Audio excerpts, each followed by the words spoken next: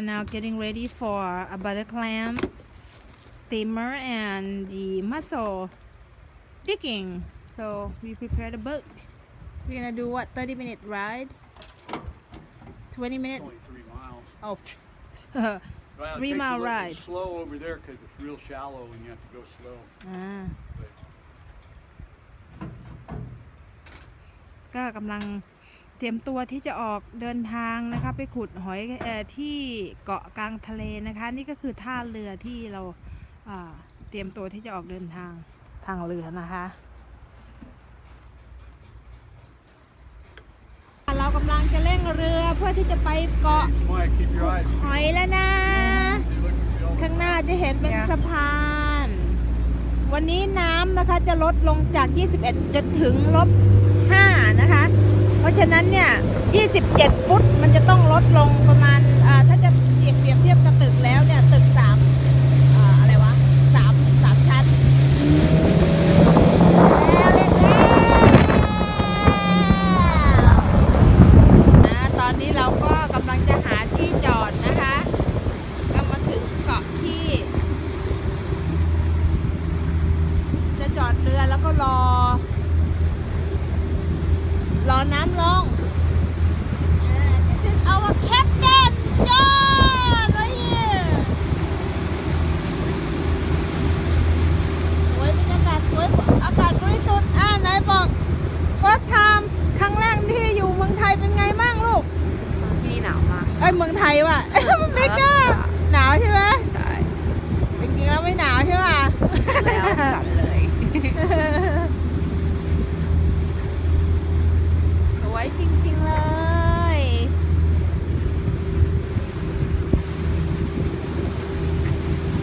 Smile, you remember, did we go Man. past that big hump that's there? ทางด้านนู้นนะคะก็จะมีนกนางนวลนะคะ เกาะอยู่ตามชายหาดนะคะ I can't. Huh? จะมองให้ถ่ายรอบๆแล้วก็จะมีคนที่มีเงินเขาก็เอาเงินเนี่ยมาซื้ออาซื้อที่ไว้นะคะ ซึ่งมันก็ราคาแพงนะคะมาสร้างบ้านไว้อยู่ระหว่างหน้าหน้าร้อน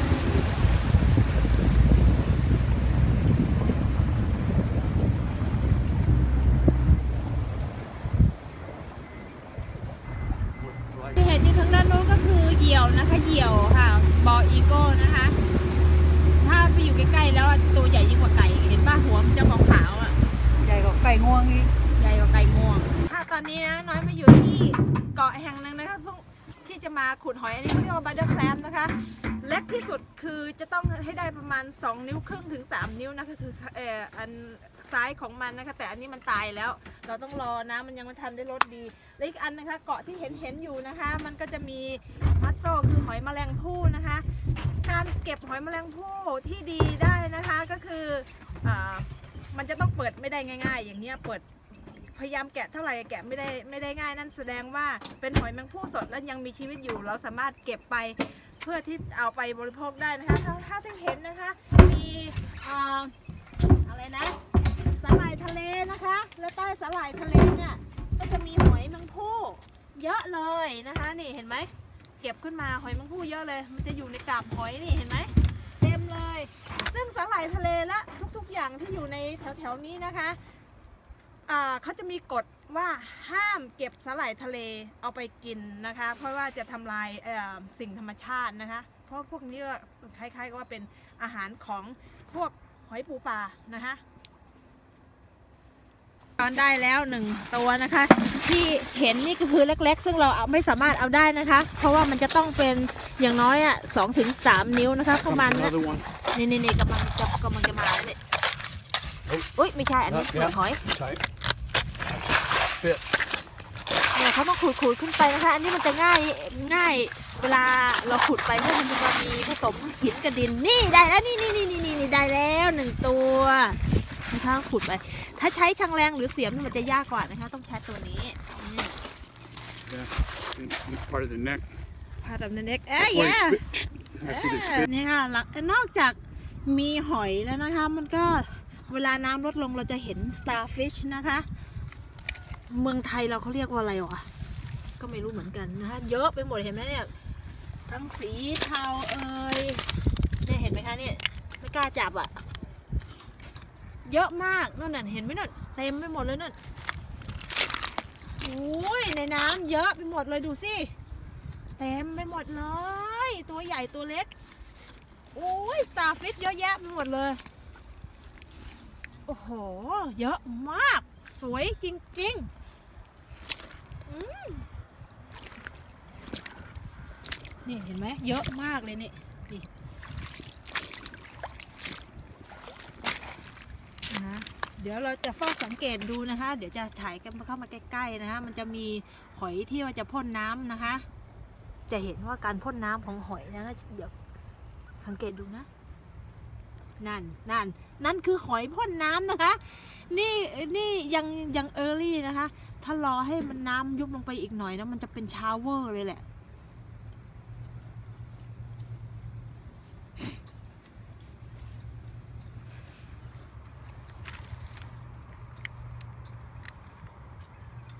ดูนะพ่นน้ำ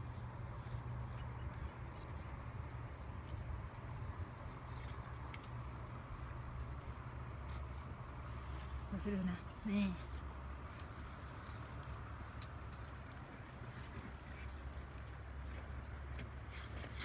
นั่นพ่นน้ำหอยพ่นน้ำตลกดีอะนี่นะคะ ดูกันให้ง่าย ๆเลย ว่าได้หอยอ่า นี่คือหอยเนยนะคะ หอยบัตเตอร์แคลมนะคะ เอาไปทำได้หลายอย่างอร่อยนะคะนั่นคือหนึ่งกระป๋อง เอ้ยหนึ่งกระแป้งอย่างใหญ่เห็นไหมแป้งใหญ่นี่อันนี้เรามาแช่น้ำเกลือไว้ก่อนไม่ใช่น้ำเกลือน้ำทะเลนะคะ ค้างคืนไว้ก่อนเพื่อที่จะให้มันสปริตแตน Yeah. เพื่อที่จะให้มันไอเอาเอาดินทรายออกนะคะ นี่หอยบัตเตอร์แคลมไปตกมา เอ้ยไม่ใช่ไปไปไปขุดมา อ่านี่คือใช่ไหมการทำหก็อยทำอย่างเนนี้ยนะนะคะ ฮะแล้วก็ผ่าอย่างเงี้ยเนี่ยออกมาอย่างงี้ใช่ไหมก็เอามีดอุ้ยเดี๋ยวต้องไปเอาถุงมือถุงมือเนี่ยเห็นไหมอันนั้นคือขี้มันเออเอาออกเนี่ยอ่าเอาออกพอเสร็จก็เอามีดแซะข้างเออล่างใส่ข้างๆเนี่ยอุ้ยเนื้อเยอะเลยแหละเอออย่างเงี้ย แล้วก็เอาเนื้อเก็บไว้เข้า freezer ใช่ไหมคะอือหือหอยนี่ใช้เอ่อใช้ยำอร่อยใช่ไหมคะอือหือแล้วทำอะไรยำก็ได้อีกได้ทุกอย่างทำลาบทำก้อยทำแครมชาวเดอร์ทำอาหารซีฟู้ดของฝรั่งเขาก็ได้ อ่านี่คือหอยหลังจากแช่น้ำเอ่อทะเลไว้หนึ่งคืนนะคะ เพื่อที่จะให้มันคลายเอ่อคลายขี้สายขี้สายเนี่ยเห็นไหมนี่สมัยที่เขาทำ นี่คือฟิชเชอร์แมนตัวจริง